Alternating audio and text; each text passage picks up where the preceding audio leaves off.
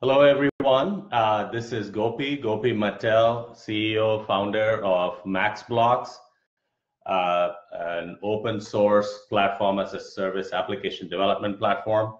I'm also a director at Founder Institute. I live in uh, uh Silicon Valley, USA, but help run a chapter in Chennai, India. And, uh, you know, here's the name. And, you know, today, uh, we're going to be talking about how good your idea is to investors. So our framework is the Founder Institute program, but we are looking at your idea from the very specific point of view of the investors. Like, is your idea fundable? What do they look at, right? By the way, you, I am available on LinkedIn, uh, so you can connect with me there.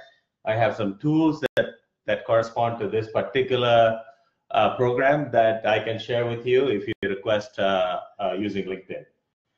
So the thing about idea uh, ideas are that um, you know even though they are smaller in terms of importance to your success compared to execution, you know, and I think it is true that execution is the bulk of how you become successful, the idea is also crucial. And um, you have a limited amount of ability to convince investors. Investors are still, it's still an art. It's not really a science uh, yet. So they have rules of thumb by which they judge your idea. So we're trying to figure out to put some structure around it, some method around this madness of how to select your idea, how to pick the idea that, are, that is most likely to be funded. That's really the goal of this particular speech. Okay. So we are going to be looking at about 10 criteria that makes an idea more uh, fundable. Okay. So what we recommend in, uh, in the Founder Institute, of course, early on, is to not be too tied to the idea you come in with because it doesn't have real due diligence around it a lot of times. So we recommend that you pick three ideas and then you try to evaluate the all of them and try to pick one before you have your idea review. And so pick three ideas and then these 10 criteria I'm going to be talking about, try to rank them one to five, one being least valuable, uh, uh, you know, value for that particular criteria to five being most valuable. And we can do some extra things like we can weigh ideas uh, differently. You can say, I want this is more important and the, uh, the, the, the others are not. So let me just switch over a little bit. Um, so what are the ideas uh, we're looking at? And like I said, I will I will consider ten, and as we go through it, this is really uh, it's it's methodical, but it is a little bit subjective still. So different people will uh, disagree on exactly the order I'm presenting it in. It's going to be presented least important criteria to most important so it can change, and uh, and also there may be one or two other thoughts that other people consider uh, to be added. So that's all okay. You just want some structure to work with. So the first thing I would say is what we would call, uh, the, uh, in, in some sense, least important. Okay, cost of launch. Okay, cost of launch which is basically,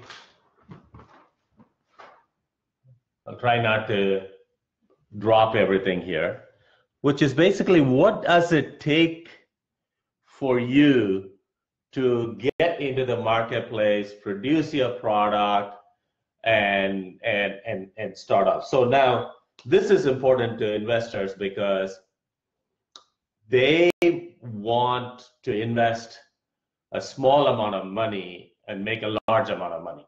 Okay, simply put. So the venture capital, I'm, I'm, my focus will be a little bit more on the venture capital less on angels and so on. But no, but it largely applies in every every case. So like in most cases, when they invest in 10 companies, they want each and every company to return 100x because they assume that nine of them will fail and only one will succeed. So getting a 10x return is not as good as getting a 100x return because then 100x means their entire investment will be paid off across all 10 companies.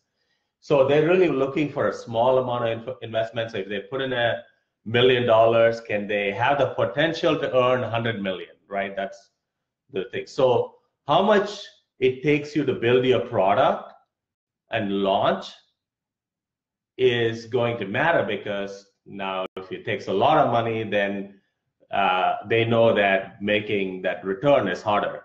So cost to launch is a criteria, not a not a very important one, but it is important. So you can imagine various types of companies, right? You can think of building an app and putting it on uh, uh, Apple Store and Google Play. How much effort is it? So you really are looking at building the application, you know, if it's a simple consumer application, and going through the process of loading it and doing some marketing to make sure it's uh, released. So the effort is really the complexity of the application. Uh, similarly, building just a website uh, is also similar, perhaps, in effort, right? So consumer website, like you know, you're you're putting out uh, bank rate information for loans and mortgages, and you're going to make money by advertising, right? That's that's not very much money to get set up, but if you look at, let's say, a, a software application, a SaaS application that's multi-tenant for different uh, customers.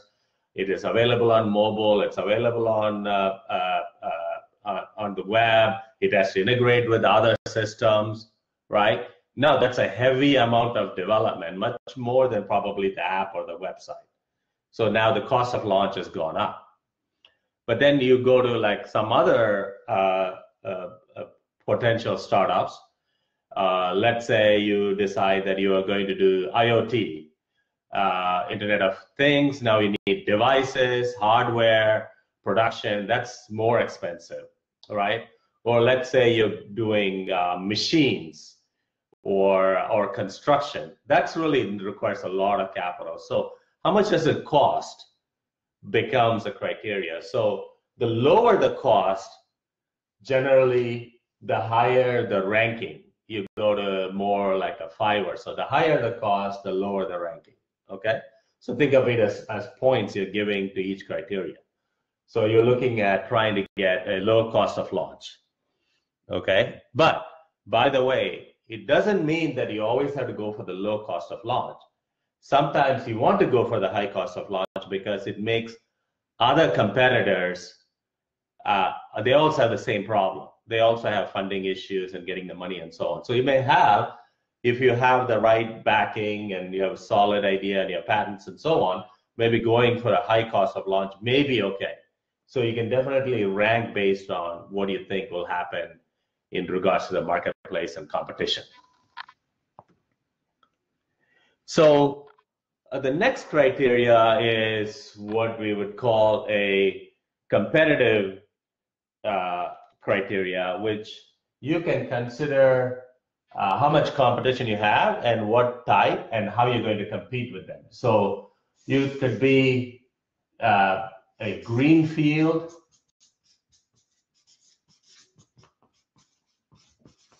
competitive space.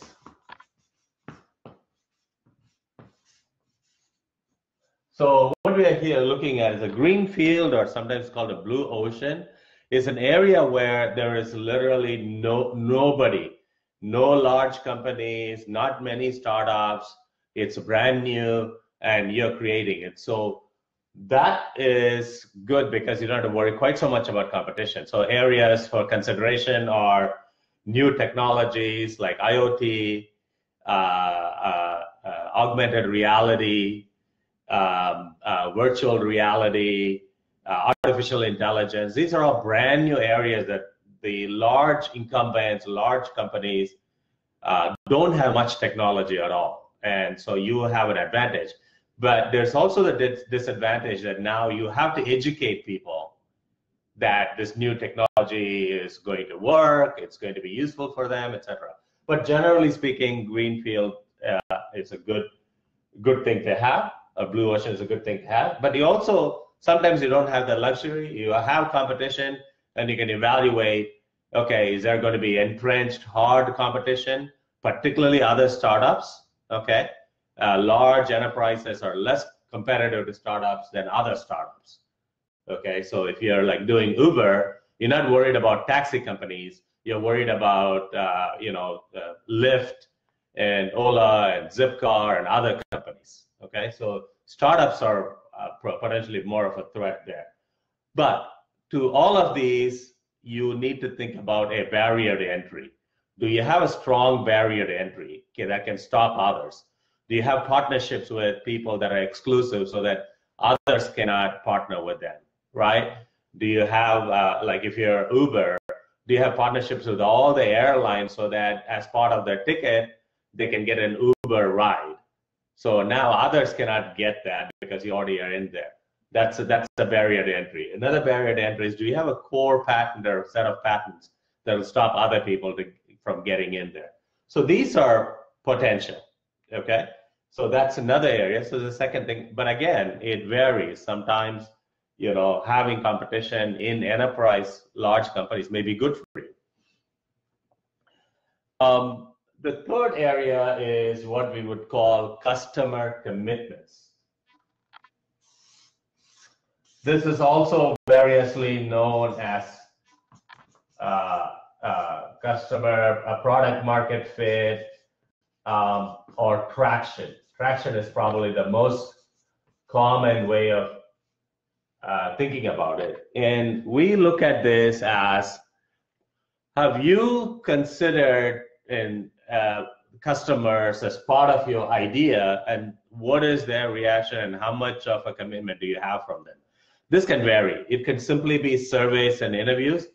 Uh, if like a lot of startups go out and you know if you're in Founder Institute, you will know that customer validation is crucial. We want you to talk to customers. So that's like the bare bottom line. But many other startups, they'll just build a product and then start hunting to see if they can find customers. That's that's definitely a bad idea. So customer validation surveys and interviews are like the very basic customer validation, and you can get some data and say like, yes, customers want this, customers are willing to pay for this, they will pay this much to use it per year. These are all good information. But you can go further. So one of the things we do in our chapter is to, as part of the validation, we ask our founders to get letters of intent. So you go to a customer, you present your full idea and say, if I were to build this and if I were to price it at this level, would you buy it? And they you want to get to a yes because the value should be so compelling to them that they say absolutely i want that. At that point you want them to sign a simple piece of paper that says you know if this product is built and if it is at this price and if it is you know satisfies all the needs i have then i will buy this software. I mean it doesn't have to be binding but they have to at least put it on paper okay? We call it a letter of intent so that's very, very good because when you go to the investor and say, look, I have a letter of intent from American Express and the Gap and Ford Motor. They, oh wow, people have looked at it, people have put their name on, on a paper piece of paper. They like that. So that's good. You could do even more. You could actually find a customer and do a partner project. You can say, listen, we you know we know you need it. You don't have to pay us anything, but partner with us to build this product so that once you build it, you beta customer, but partner with us. And they put in time and effort, they don't give you money, that's still worthwhile. That's more better than letter of intent. Or you can do a proof of concept. They give you a little bit of, uh, you know, they do a contract, they say, here's our spec, you build it. If you prove it to me, then I'm going to buy. So it's more agreed upon, more of a contract. Then finally, actual revenue right? You they give you money to build it, or they give you money to use your software. So this is customer traction. You want to get to one of these areas, and so that also, depending on where you are, you go one to five on that. So we, we talked a little bit about this early on. Uh, how difficult is it to build your solution? Okay, so I, I, I say it's technology difficulty because a lot of startups, you know, really are trying to be at least to be able to uh, be funded. You tend to be more technology oriented. Okay, it doesn't have to be, but it's extremely common and it gives you that advantage in the marketplace that you need. Okay, so technology difficulty. How difficult is it to build your technology? Okay, so now the thing here is that um, it's similar to that first point, like how much does it cost? A lot of times it correlates, but not always. So like a website, like the bank Bankrate website I mentioned, will be easy to build, will, will not cost very much, but it's also easy as a technology. You don't have to solve any major problems, right? But if you were doing an app, it's a little bit more complex. If you're doing some uh, uh, some uh, technology like artificial intelligence, you have to learn a lot. It's not necessarily more expensive, but you definitely need that expertise and you have to learn a lot and you have to try a lot to actually build out what you want. So the technology difficulty, uh, the more difficult it is, the more chance of you failing, right? So that is a criteria, and you can rank that. You know, there are more uh, difficult things like a SaaS application. You know, something that's available around the globe, uh, that's internationalized, that understands like formatting of currency and language that has different databases by different customers, that has security that corresponds to different countries' security requirements. Uh, all of this, right, uh, could be complex. That's a difficult uh, problem to solve. Um, and and then fi- and at a high level would be hardware. Anything that requires actual material products are probably much more complex than any of these.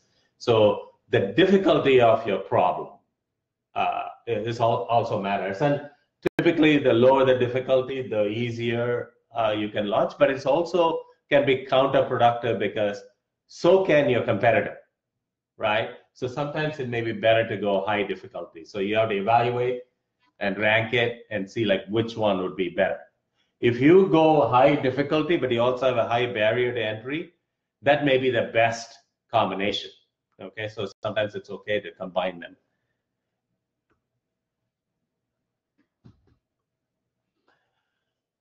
Next, I would say is what we call ease of sales. A lot of these criteria that I am covering, you won't hear it outright from the investors. You'll hear it and sort of like they'll just ask questions and they won't say, you know, here's ease of sales. How good are you on that? So it's not, as I said, scientific. But if you went to an investor and said, oh, you know, I'm going to reach out to small business, you will see this reaction from them that says, oh, I'm not sure. They will find it much easier to go to a consumer marketplace with millions of people or to enterprises with a few companies. So consumer marketplace, you know, it's all probably web-based or application discovery kind of options. But the enterprise will be more direct sales and but few customers but large amounts of money. So, but if you try to do small business, it's small amounts of money, but a lot of high touch sales. So they will struggle with that. So, so you have to know what your, how easy is it going to be to sell your product. So the simplest, I would say, is something that's viral, right? Any uh, social, uh, uh, uh, uh social uh, network, any kind of chat app, these are all viral. Once you put it out, the people that are using it, if you do your job right, will automatically push your product out. So that's the best and easiest way of selling your product. Okay. The then you may have websites. Websites are also easy to market because you just have to go after Google, uh, make sure that you come up high in the search results so people find you. So websites are not that difficult to sell or get customers uh, logged on.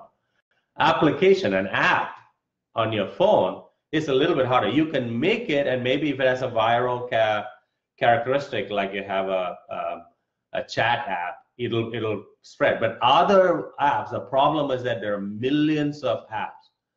How and and people when they look at their phone, they can see only a few apps. How do they find your app? The problem is called app discovery.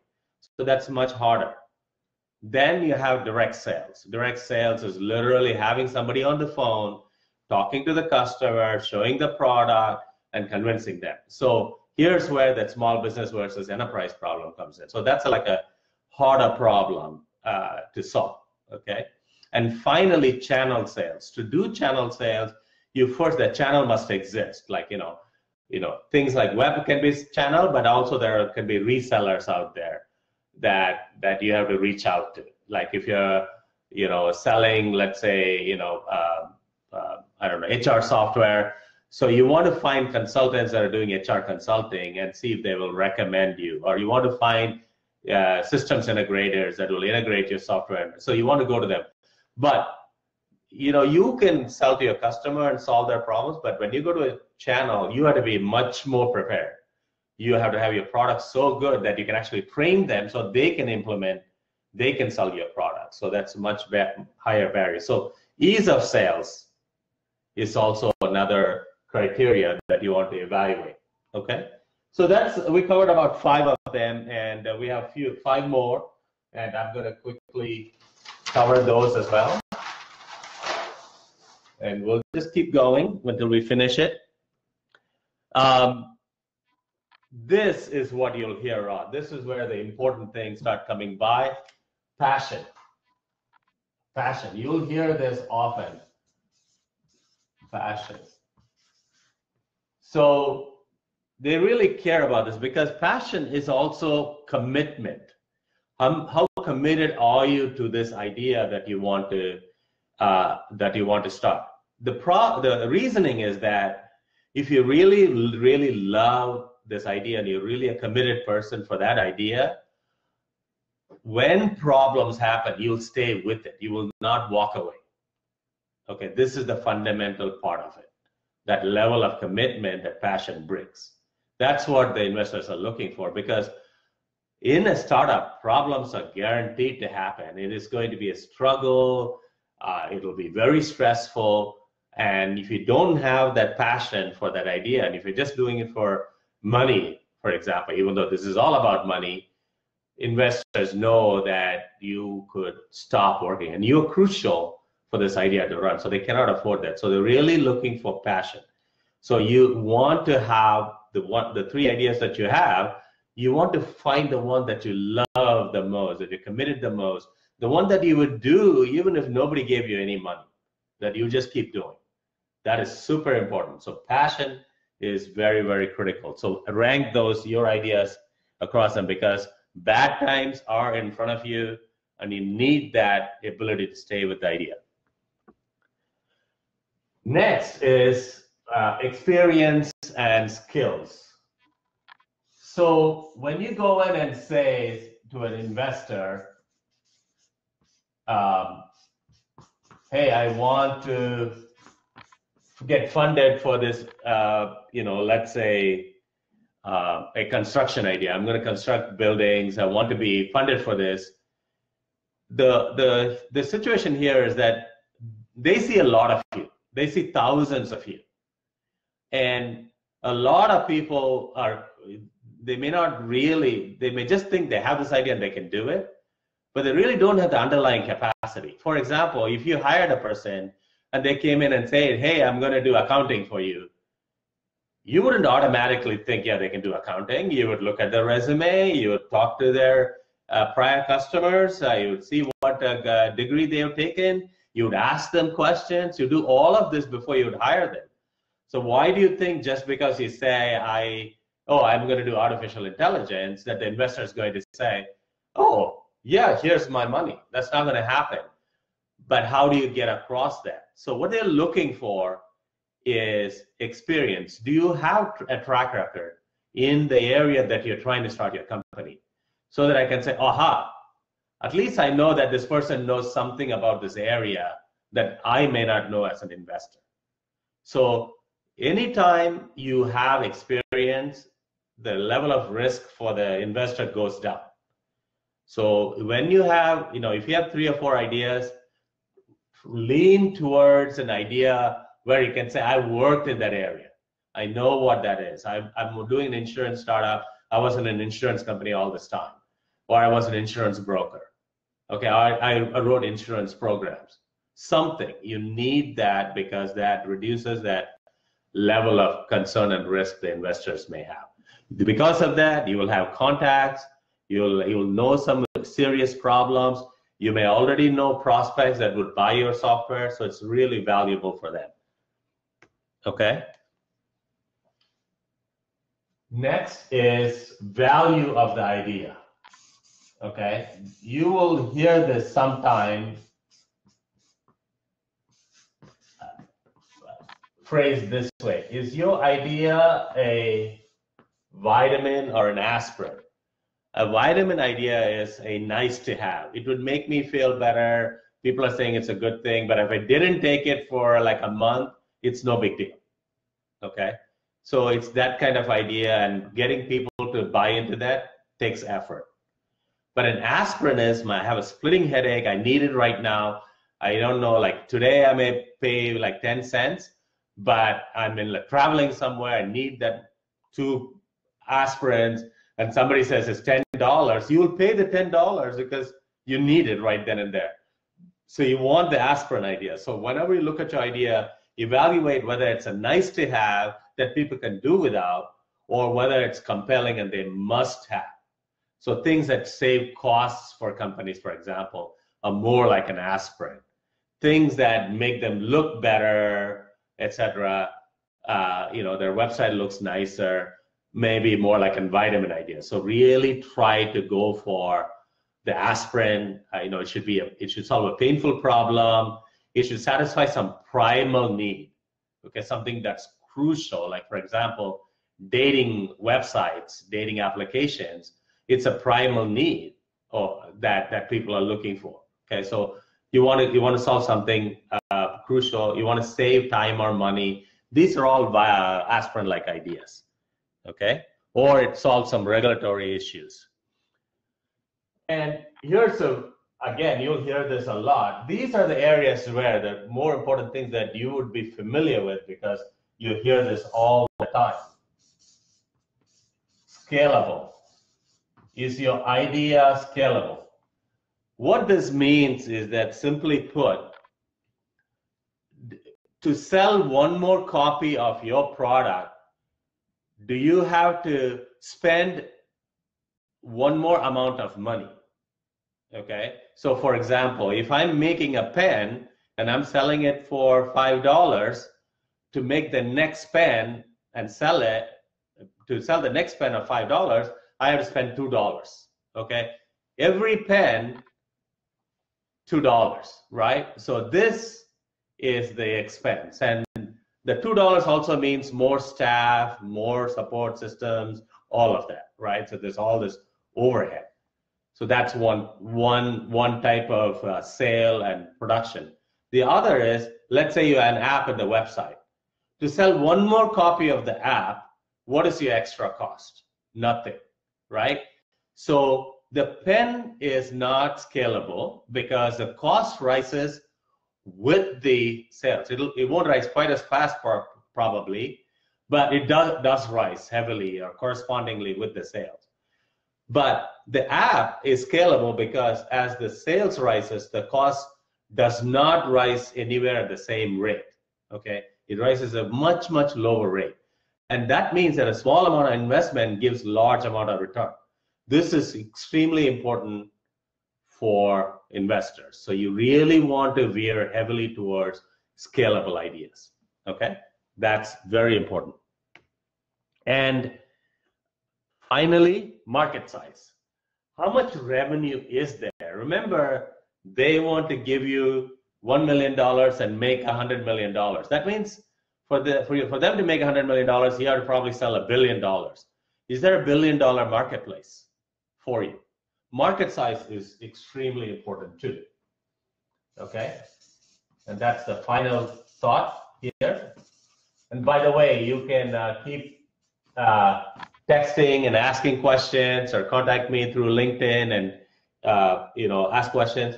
But market size, it, you know, you have to look at, you know, uh, the overall picture. You know, if you did, let's say, um, you know, I'll use a construction example. You know, are you constructing only in your country or you're you constructing in multiple countries? Because you may be limited to countries, right? And if your country is small, your market may be small. Okay. So that's one thing. Or are you going to only do commercial or residential or both, right? So these all can change your market size. So you really want to look in, in software market size. The price point is low, but it could maybe compass encompass the entire world easily, right? So even if the price point is low, like Facebook's price point is zero, but they have the entire world as a market in terms of advertising, right? So that's that's powerful, right? No construction company is going to be as big as Facebook, even though construction company each deal may be worth half a million dollars, a million dollars. So market size is probably the most important thing of all of these. But you can see these you'd have heard, the others you may not have, but these are the criteria people are looking at. So the important thing is you rank all of them one to five. You can even weigh them. You know, you, you multiply this by a higher number. The lowest one we multiply by a lower number. So you weigh them differently and you get a result and you can compare each of them and say, hey, which is my best idea? Okay. Now, that you can do, you just type it in as Excel spreadsheet, take these 10 uh, ideas, you can do it as easy enough. But I also have a spreadsheet that does that for you.